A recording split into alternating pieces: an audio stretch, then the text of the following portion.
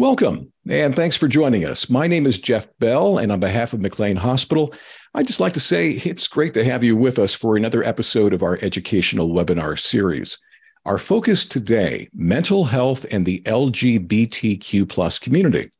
Now, mental health challenges certainly impact people of all sexual orientations and gender identities, but the research is clear. It says that members of the LGBTQ plus community face these challenges at higher rates than heterosexual and cisgender individuals. Why? Well, the experts point to stigma and discrimination as likely contributing factors.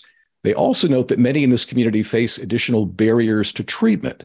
Our goal today is to explore the most prevalent mental health challenges facing those who identify as LGBTQ, and discuss where they can turn for help we also want to share some tips for supporting someone in this community. So, for all of this, we are going to bring in Jeff Day, a doctor of nursing practice, a sought after expert in LGBTQ care as well.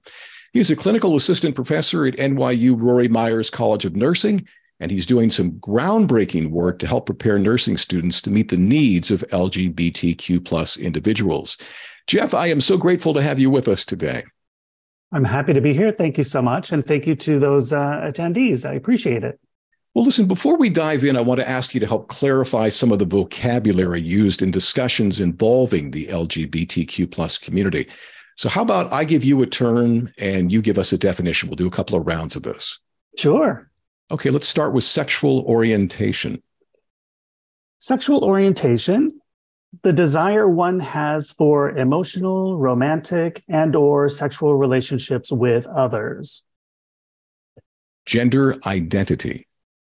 Uh, gender identity is one's psychological sense of self.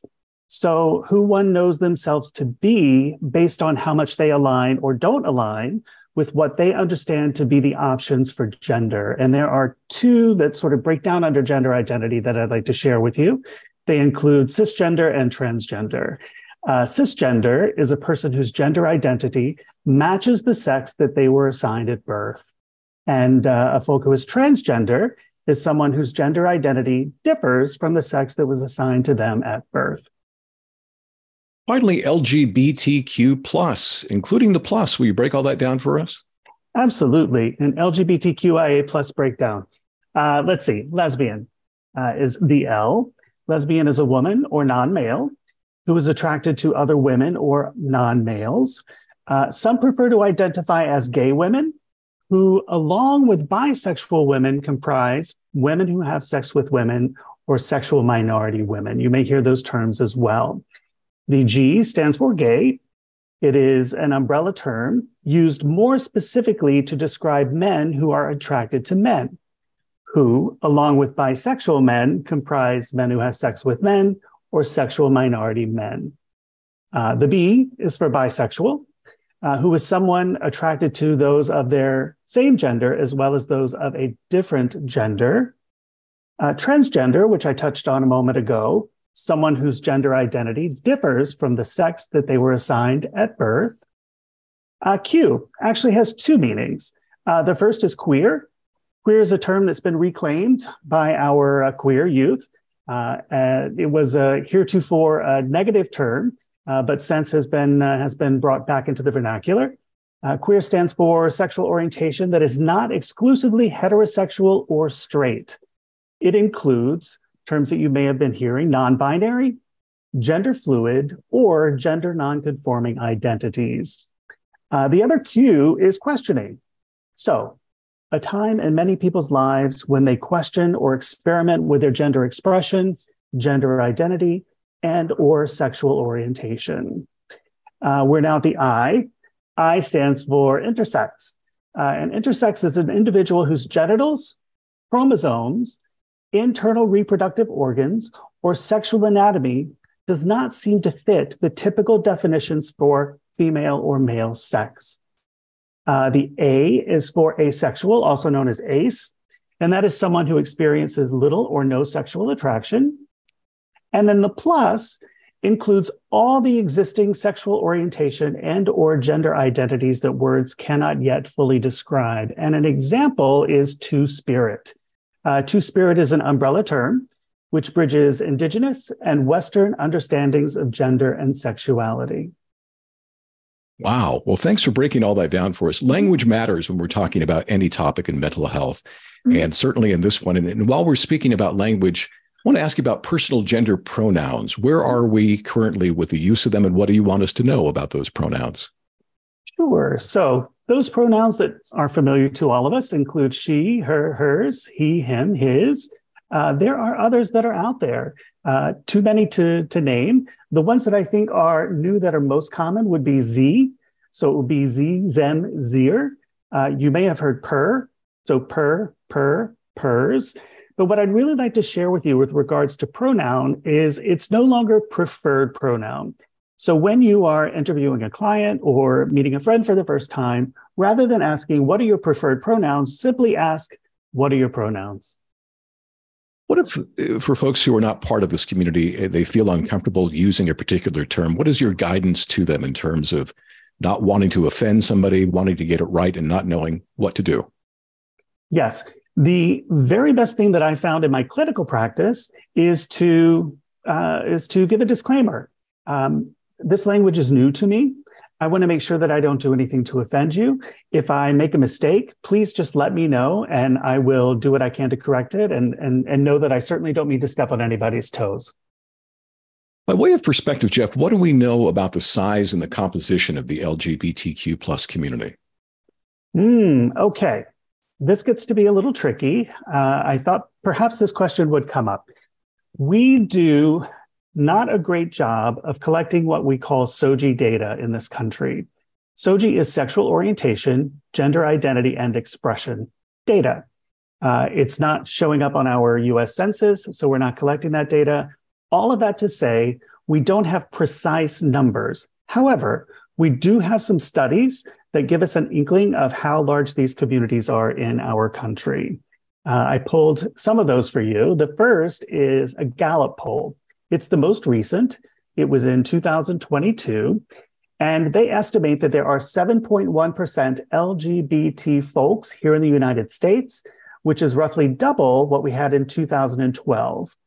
And interestingly, 21% of those who identified as LGBT also identify as Gen Z. So those who were born between 1997 and 2003, and almost full quarter of them uh, of those who are LGBT are from the Gen Z uh, generation. Hmm. Yeah. Uh, the, Jeff, the, yeah. Sorry. Go ahead. No, you please. You go ahead. I just had two more studies that touch on the the the others I's and A's in the in the uh, in the acronym. Uh, the first is from Amnesty International. This was in 2018. They actually did a study of intersex folks. And what they found was that it's roughly 1.7% of the worldwide population curiously, approximately the number of redheads that we have. Hmm. And then finally, there was a, a, study out of Williams Institute, which is it through UCLA Law School. This was in 2016. And they found that 3.6% of those who are assigned male at birth identify as gay or bisexual.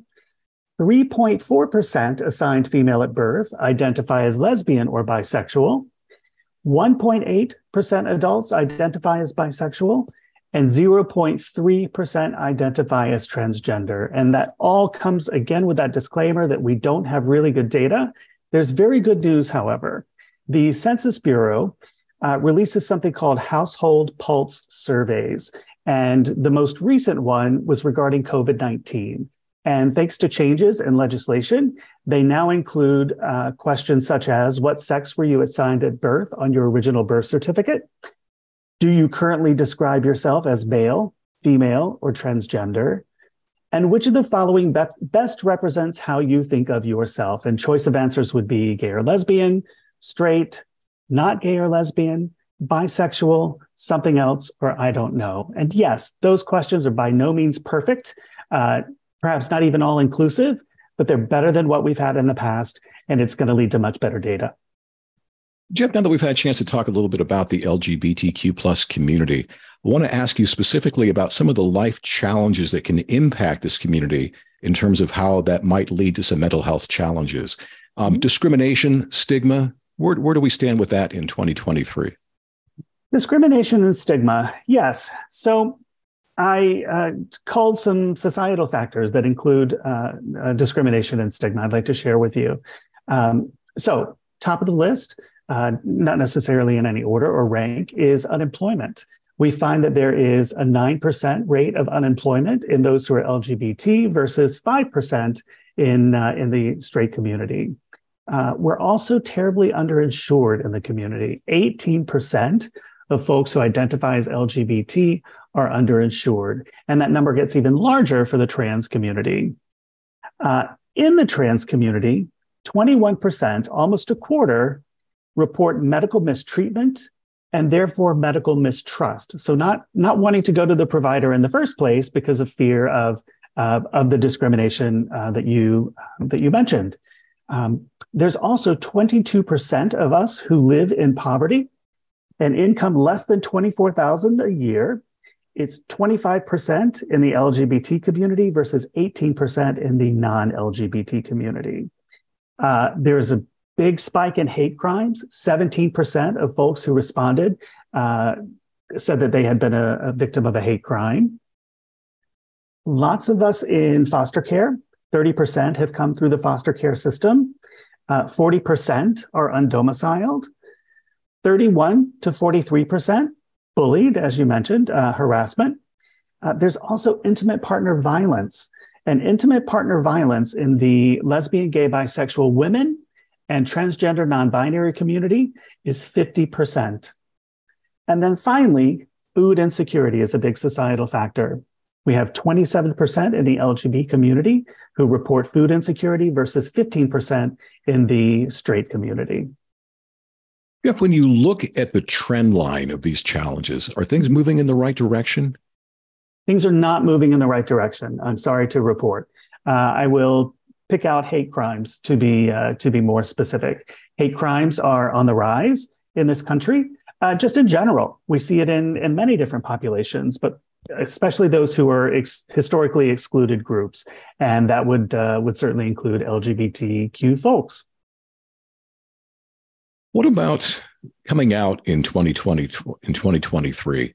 Um, are, are we seeing more acceptance of some of these community members when they share their identities with family members, for example? Are we seeing more acceptance in those uh, in those coming out to their community, uh, family? Um, it's a little bit challenging for me to answer this question because I'm in a bit of a bubble. I live in uh, New York City, it's uh, it's a very welcoming uh, and comforting city, wherein folks are able to many times come out to their family without ramifications, without repercussions. And the uh, the students who I meet, who are young, um, don't seem to have any difficulty doing that. My sense is that's very different in other parts of the country. I think we're still met with uh, with bullying and harassment when coming out to when coming out to family members. In terms of these life challenges that, that you've kind of run through with us, uh, are, are, there resources out there available to members of the community that that can be helpful in terms of addressing some of these life challenges? Mm, I have some LGBTQ mental health resources specific to mental health, but not necessarily specific to food insecurity or medical mistreatment or mistrust. And before we move forward from some of these life challenges, let me kind of put you on the spot and ask what, what's missing from the equation right now? What would help address some of these life challenges? Uh, very good question. Uh, I think changes in the political landscape will help to uh, will help to improve some of these societal factors. That's going to be uh, that's going to be the number one the number one thing that I can imagine. Uh, also, education. Um, I speak from experience that educating the young minds is going to make a, a very big difference in the future. Well, let's segue then into some of these specific mental health challenges that manifest themselves for members of the LGBTQ plus community. Um, what stands out to you? What tops the list? Oh my goodness, uh, depression. Uh, it's certainly not the most uh, prevalent of all of the mental health issues in uh, the LGBT community, but it is two times the 12 month prevalence and lifetime risk of heterosexual people. Um, variables that are associated with depression include history of suicide attempt, child abuse, sexual dysfunction, a recent history of anti gay threats or violence, not identifying as gay, queer, or homosexual, excuse me, uh, and feeling alienated from the gay community. You mentioned a, a number of mental health challenges in particular. Um, what are some of the resources available for folks who are facing those issues? Sure. So, some LGBTQ plus mental health resources. At the top of the list is the Trevor Project. Pardon me. The Trevor Project is the first nationwide, around the clock crisis and suicide prevention helpline for LGBTQ plus youth. So they are well positioned to deal with the uh, spike in depression that we see in the community, as well as some of the other mental health challenges. Uh, another resource is the Trans Lifeline. The Trans Lifeline provides trans peer support, and it is run by and for trans people. Uh, I just want to loop back for one second and say about the Trevor Project, uh, they're unique in that they have a text feature. So those who are young and very text savvy are able mm-hmm. to text any concerns that they may have. Uh, another is the LGBT National Health Center. Uh, all volunteers identify as part of the LGBTQIA plus family. It is free, confidential support, peer information, and local resources. There is Pride Counseling, which is online therapy to members of the LGBT plus community. Uh, I would recommend gay student alliances as well. Gay student alliances are student run organizations that unite LGBTQ and allied youth to build community. You usually see them in middle schools, high schools, colleges, and universities. Uh, there is GLSEN, spelled G L S E N, uh, GLSEN is, uh, is ensuring LGBT students are able to learn and grow in a school environment free from bully, bullying excuse me, and harassment. Uh, there's GLMA, spelled G-L-M-A, also known as Health Professionals Advancing LGBTQ plus Equality. Uh, we connect people, I say we because I'm involved in the organization, mm. connect people who are lesbian, gay, bisexual, and transgender with welcoming healthcare providers. So if you're looking for a healthcare provider, including a mental health provider, you can reach out to GLMA. There's a very long list. Um, you can actually drill down using filters to find what you're looking for. Uh, I would be remiss if I didn't mention 988, which is the relatively new um, countrywide uh, hotline for those who might be experiencing uh, suicidal thoughts or depression. Uh, for those who in the community are experiencing substance use disorder, there's Alcoholics Anonymous, which we've uh, which we've heard of, and then there are two texts that I wanted to mention. The first is the GLMA Handbook on LGBT Health. They have a robust chapter on mental health, uh, and then finally, uh, one that we might consider the Bible is the Fenway Guide to Lesbian, Gay, Bisexual, and Transgender Health. Fenway is an organization located in Boston they're dedicated to LGBTQ plus health, and their book is uh, is chef's kiss when it comes to all things, including mental health. Jeff, before we move on, you, you mentioned substance use disorders. What should we know about the LGBT community vis a vis the substance use disorders? Uh, substance use disorders, certainly that they are there. Uh, it's something that that requires attention. Um, it is a means of it's a means of dealing with the feelings that come with uh, being LGBT in a nation that's not necessarily welcoming of that uh, identity. I want to ask you next about some of the uh, the challenges for folks in the LGBTQ plus community who are looking for mental health treatment. What are some of the unique challenges that they are they're facing um, that their cisgender and heterosexual peers might not? Right. So the the main challenge is what is this therapy what is this therapist going to think of me? What is this therapist going to offer me? What is this therapist going to say? Uh, so i'd like to offer if i may some screening questions that one might ask of uh, of potential therapists. Uh, would that be okay? Absolutely. Uh, so the first is, uh, and I'm going to use queer, but you can use uh, any of the LGBT uh, rainbow or non-binary. Uh, but how would you describe your experience treating clients who share my queer identity? So, putting it out in the beginning, uh, your identity and how is it normally um, respected in the in the office? Um, another question is, what training or evidence based treatment do you or your practice have for issues that may arise related to queer health and wellness?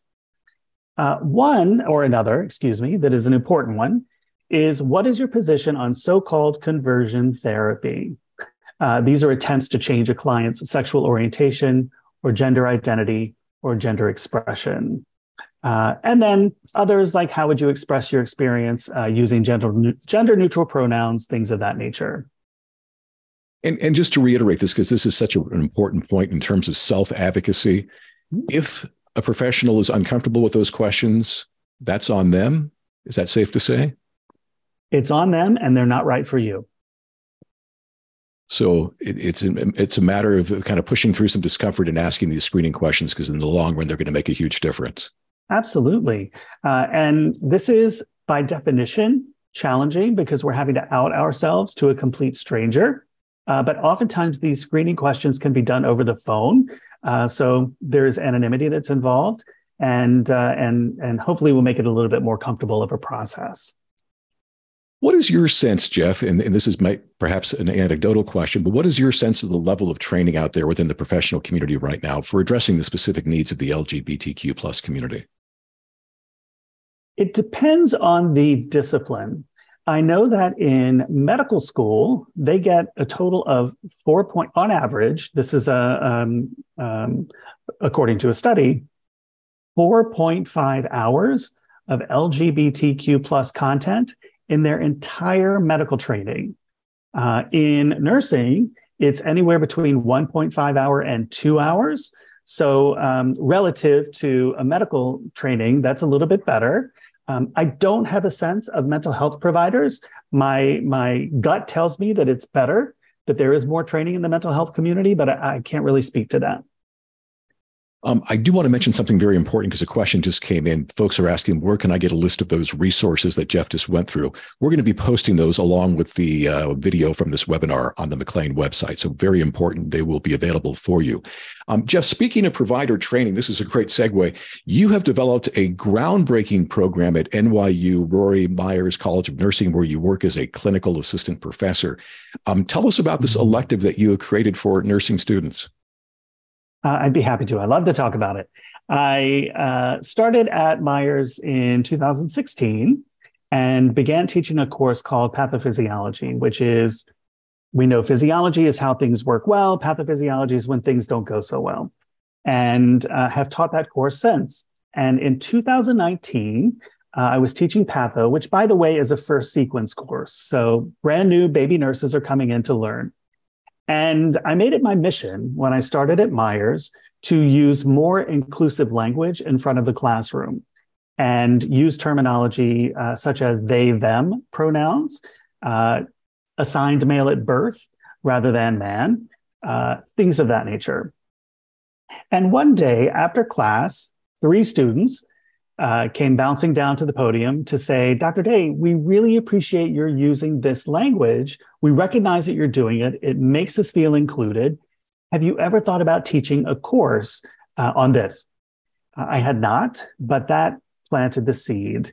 And so in 2019, I began my odyssey of putting together an LGBTQ plus health elective course for the nursing school.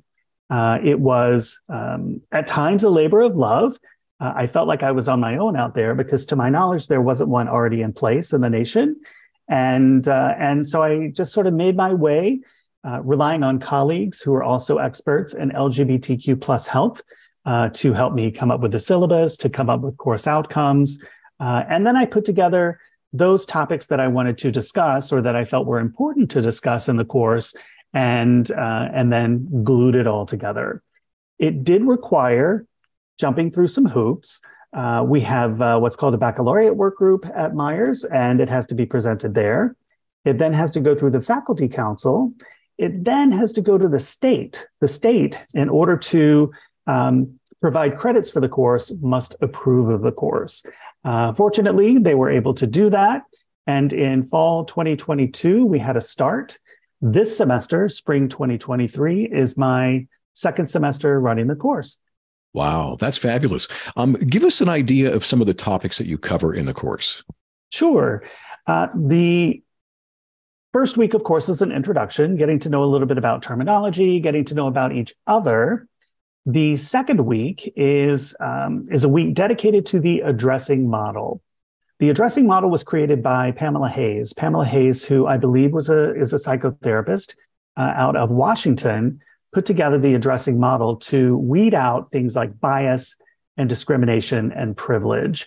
And my strong belief is that unless you tease these things out, unless you bring this junk to the surface, it's uh, it's uh, it's almost impossible to uh, step on that and step beyond it in order to deliver good quality care. So we had this uh, we had this experiential moment in our second week, and then weeks beyond that, excuse me, I focus on transgender care, of course, uh, intersex care. Uh, most folks have not heard about intersex individuals, so that's a um, that's one that students are really engaged in. Uh, I do talk about HIV, but I talk about it in the uh, in the setting of um, a death sentence, if you will, to now a chronic disease and how that has evolved. Uh, we do talk about mental health. I talk about young adults in uh, in uh, the LGBTQ plus community, older adults. Um, I also have guest speakers uh, from various colleges throughout the country. Uh, I have one guest speaker who's coming in this semester from Pride and Plasma, an organization that fights for uh, or against the blood donation ban, which looks like it's going to be overturned in March. That's a good thing. Uh, and also, we have a clinical partner that's NYU Langone Hospital.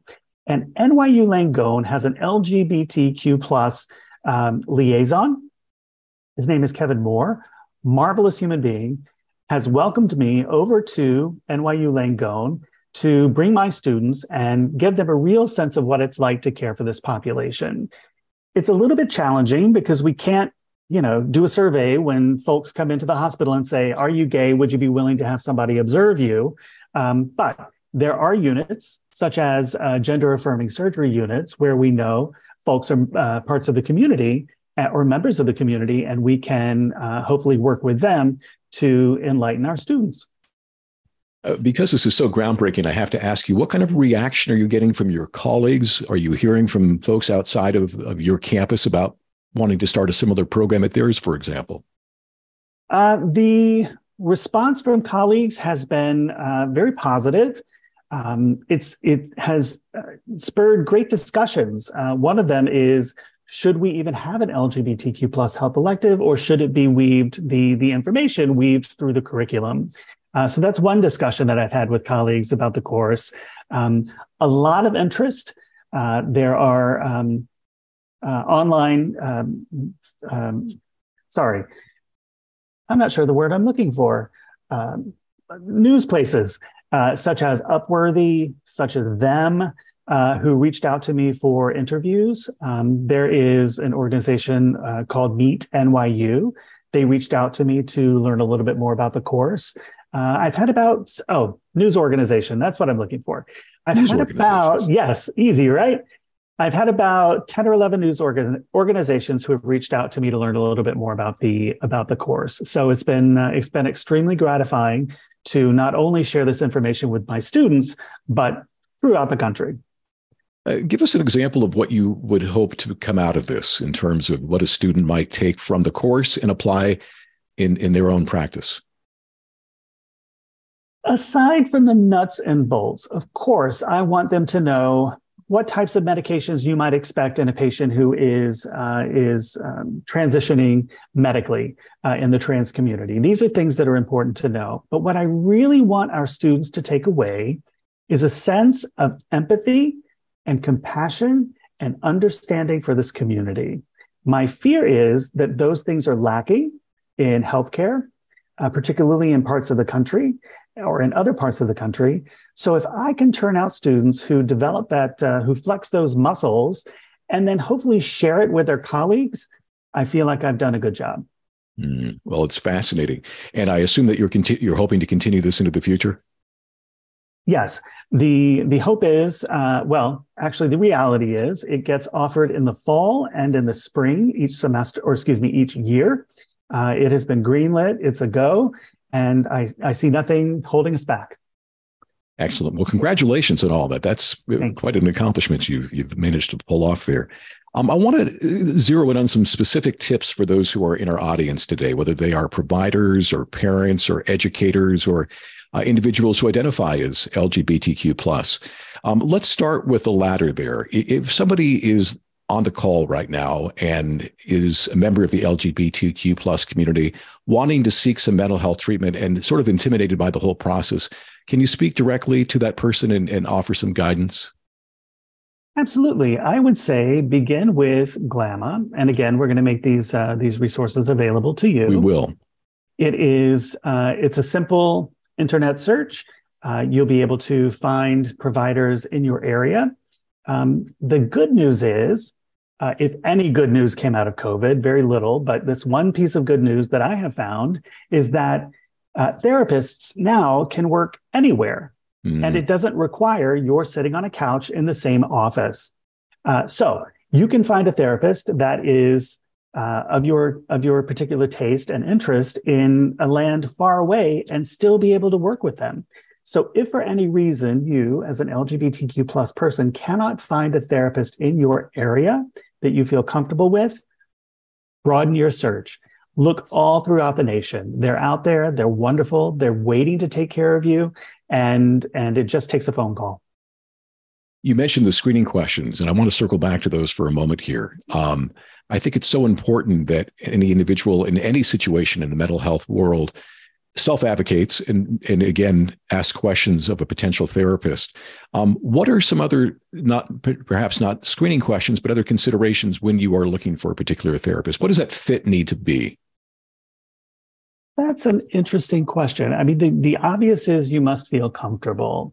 And that means different things to different people. And I, I'm and thinking back to the addressing exercise that I just did on bias and how we look for in group bias, right? We look for people who are like us. And that may be exactly what we need in a therapist in order to take care of us. Great answer. Um, let's talk about educators and, and from your perspective, what they can do to best support members of the LGBTQ plus community, uh, specifically the younger ones who are growing up and might be confused by a number of their challenges as they're going through life.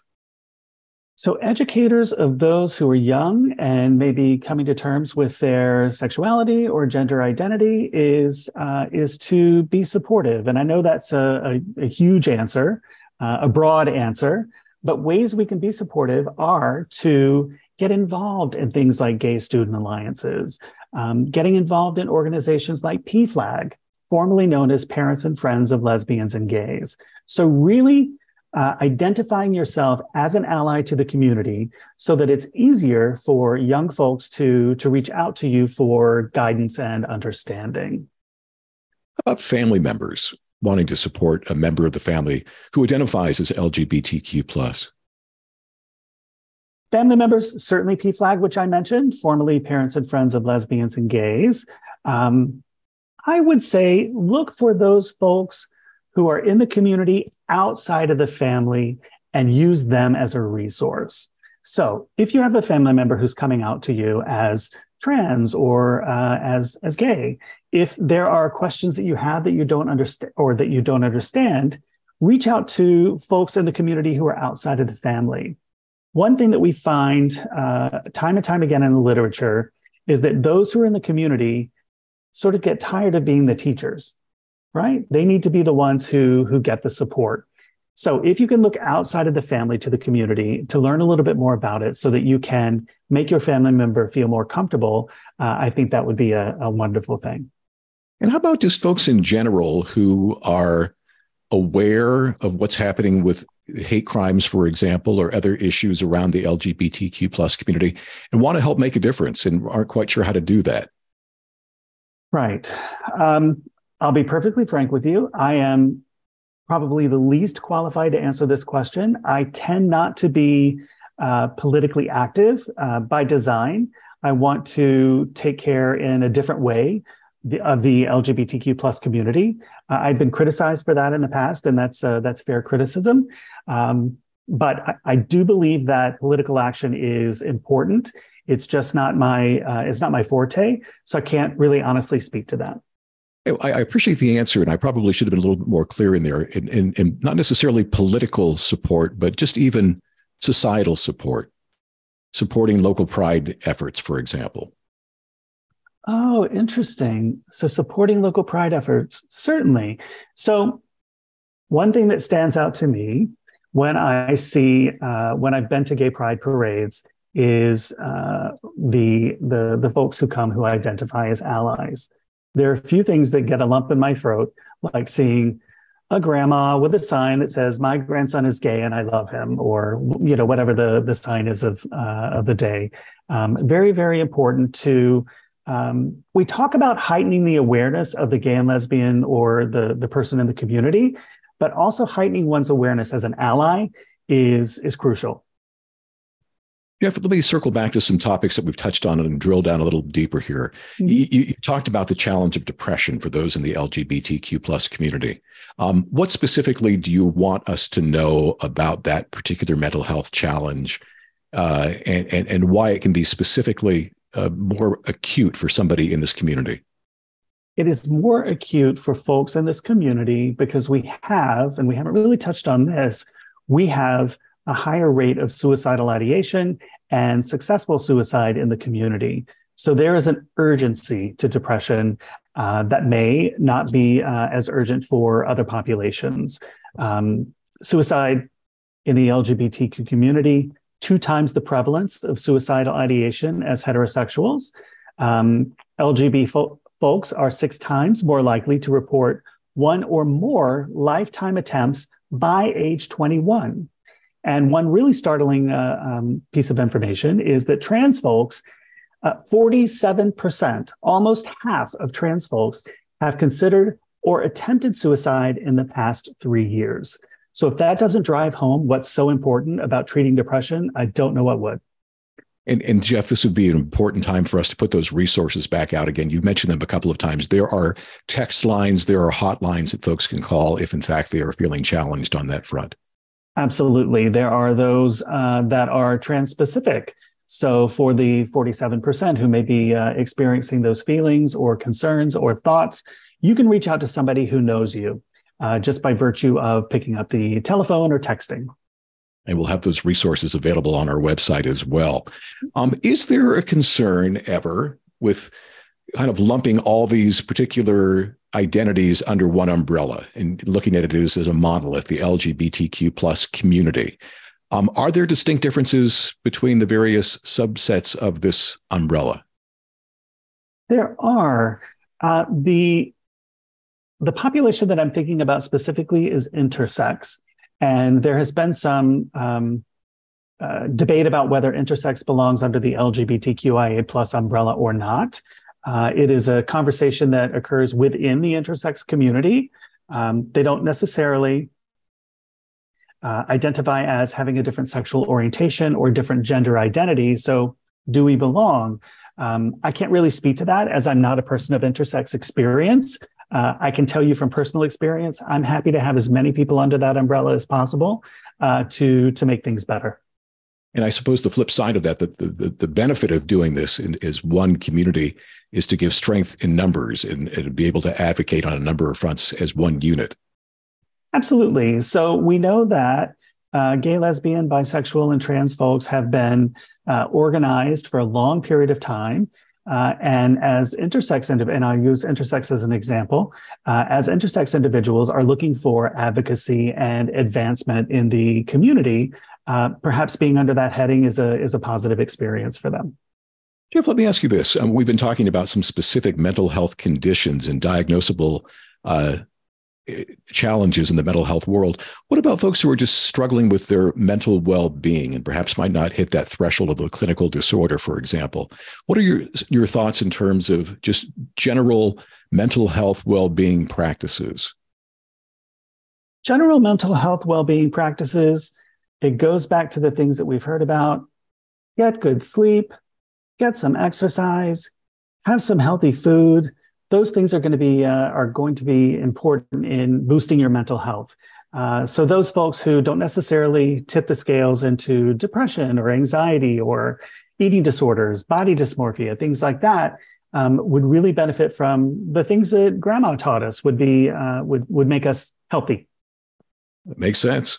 Um, let's pull back the lens a little bit and talk broadly about the not only the mental health care profession, but just medicine in general. And, and you've been doing this work on the physical health side of things quite a bit with the nursing program. Um, what do you want us to know about the bigger picture of medicine in the LGBTQ plus community? I mean, you've talked about some of the specific things you're doing for nursing practitioners, for example. Um, what about um, MDs and hospital staff? What are some other areas, some other frontiers for making some positive advancements for the LGBTQ plus community? I think that having more LGBTQ plus liaisons in uh, in community hospitals uh, in uh, other healthcare facilities is key. We need someone there to advocate for those LGBT patients who are coming in who may not feel comfortable. That's extraordinarily important in the in the healthcare setting. You are doing work specifically again in the nursing side of things, and it, it dawns on me that that's a very uh, important area in terms of your interaction with clients, with patients. Um, in fact, probably to some degree more of an interaction than the MDs and the anesthesiologists and so forth. Um, you are having these intimate relationships with your patients. Um, talk about that dynamic and why it's so important to train nurses in particular to have some of these uh, appreciations of the challenges for the LGBTQ plus community. Vital, crucial, uh, whichever word uh, is is uh, is um, um, strongest uh, is how I would describe the the need for nurses to be well prepared at the bedside, um, and to be prepared for what you might see. And I'll share an anecdote with you. I used to work in uh, trans healthcare in folks who came in for gender affirming surgery. And I would take care of them when they came back from surgery to manage any post op complications, to prevent post op complications, uh, and to make sure that they were prepared to go home. What I wasn't prepared for was walking into a patient's room one day. Uh, they were fresh out of surgery and starting to wake up out of the recovery room, but starting to wake up. Uh, I walked in to introduce myself and uh, explain my role and my care. And I saw balloons everywhere. There were balloons that were tied to the to the side rails of the bed, and they said "Happy Birthday," and it was our patient's rebirth.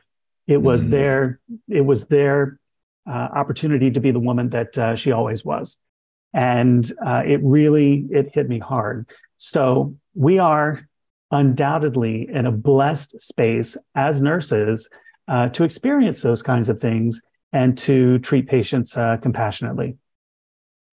Paint the picture for us of what this could look like in the best scenario down the road for an LGBTQ plus individual getting medical care treatment. Um, what would things look like differently than they do today? Wow, Jeff, that's a great question. And it brings up a great debate. It is do we need to have separate clinics for folks who are LGBTQ plus? Uh, or do we need to weave their healthcare through the healthcare system that we have now very similar to that debate of elective versus weaving through the curriculum. Um, I don't really come down on one side or another. I, I do believe that we need both. We need to do a better job in general hospital care of taking care of these LGBTQ plus folks, but there are needs that are specific to this community that may only be understood by the community itself. And for that reason, I believe having specialized clinics is uh, is is very important to the community. And we have, uh, uh, for instance, here in uh, New York City, we have Callen Lorde, uh, which is uh, which is an LGBT plus healthcare center. Uh, Fenway, which I mentioned before, who created the book, they actually have an LGBTQ health center in Boston.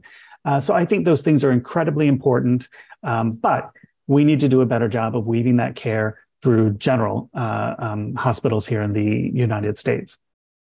How satisfied are you that that discussion is taking place right now at the highest levels in terms of policymakers?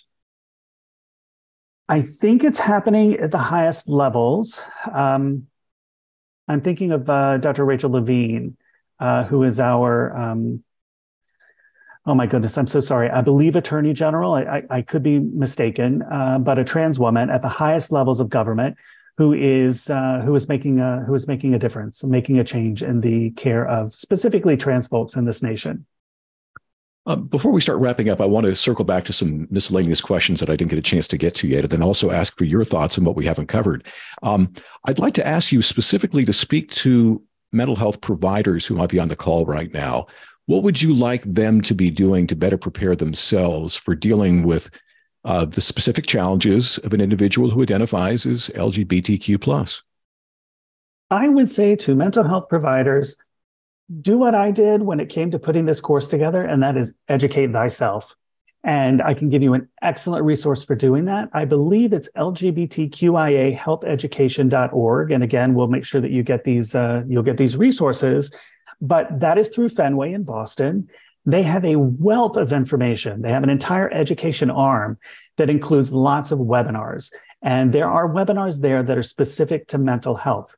And if you'll just take some time out of your day, go to one of those webinars, spend an hour learning a little bit about the community, uh, I believe that there you'll do a better job taking care of them. Jeff, I don't know if you have an answer for this one, but a question did come in. Do you know of any Spanish speaking therapists or mental health resources for the LGBTQ plus community? I don't specifically, and I'm sorry to keep harping on uh, but I bet, I don't know for sure because I haven't looked for Spanish speaking myself, but if you go to uh, glma.org, uh, they have over on the right side of their homepage a new find a provider uh, link. If you click on that, uh, I can almost guarantee you that they're going to have Spanish speaking in there somewhere. Wanted to ask you about the importance of peer support for anybody dealing with mental health challenges in the LGBTQ plus community. Um, from your perspective, how important is it to be able to talk openly with somebody who might necessarily understand what you are going through? Uh, it is important, and data has uh, has uh, has proven that. We have at NYU something called the Wellness Exchange, and the Wellness Exchange is an opportunity for students, for all students, not just GLBT students, but for all students. Uh, but LGBT students can reach out as well. They can do it by text. They can go into an office. They have uh, peer support there. Um, extremely important at uh, at letting our folks know that we're not alone. I also wanted to circle back and ask for a little bit more information about something you raised earlier, which is the the, the concern for some individuals about disclosing their sexual orientation um, to a therapist. Do, do you get the sense that that is a problem for members of the LGBTQ plus community seeking care, that they're just distrustful of the therapy situation itself to the extent that they might be uncomfortable sharing where they stand? I think it's different for different populations within the community. We are in a space in 2023 in the United States where it's easier to say queer or gay than it was years past. And I, I, have to believe that going into a therapist's office and revealing that is going to be a little easier. What we're finding, sadly, is that the same cannot be said for trans folks not only is it not easier, it's getting harder for trans folks uh, with the legislation that is that is uh, that's coming down the pipeline uh, in this country. So the the courage that it takes for a trans person to step into an office and reveal that information, I I, I can't imagine. I'm in awe of that. So, Jeff, before we wrap up, I do want to ask you to share with us any kind of closing thoughts in terms of the big picture of mental health in the LGBTQ plus community. We've covered a lot of ground, but what stands out to you is is is the the the, the key takeaway from our conversation today? I want to say that the key takeaway from the conversation is that there is, and this sounds a little sappy, I grant you, uh, but there is hope. There's hope out there in the medical community. There's hope in the nursing community, in the mental health community. Folks are coming into the business who really want to make a change, uh, not just in that community, but in, in all of their patients. Uh, and I think that's something that we have to look forward to. We're turning out practitioners now who are far more uh, skilled and advanced in their care than has been in the past. Uh, and that's a very, very good thing.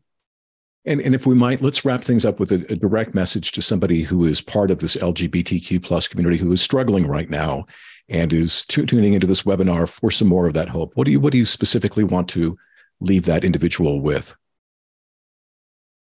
This is a road that folks have been down before, successfully. We have had patients who have gone in for mental health care who, while maybe scared to reveal that information or that identity, uh, did so and found very, very good result. So know that there's hope out there. Also, know that you can either choose not to have a provider or at any time you can change providers. You are not beholden to anyone to meet them once a week and spend a, a chunk of money uh, to um, the stereotype sit on the couch. Um, you can you can shift at any time. Uh, the the the hope is out there, and uh, certainly if I can be of any uh, of any help, and I'll make sure to give my contact information to uh, to Jeff, um, I would be happy to do so. Excellent. And then before we let you go, what's next for Jeff Day in your work? Yeah, great question. Um, I am looking toward I actually have my eye on a couple of things. There's a possibility that I will uh, create a graduate course. The LGBTQ plus health elective course is an undergraduate course, but a graduate course would allow me to move into how do you prescribe for folks, uh, things of that nature. So a grad school, or excuse me, a grad uh, course may be uh, may be coming down the pike. That sounds great. Jeff, thank you so much for making time to share with us today all your wisdom and thoughts on this very important topic. We really appreciate your time. Thank you so much. I appreciate the opportunity. Jeff Day, a doctor of nursing practice and a uh, clinical assistant professor at NYU Rory Meyers College of Nursing. As for those of you who have tuned in today, our sincere thanks on behalf of all of us at McLean Hospital. Have a wonderful day.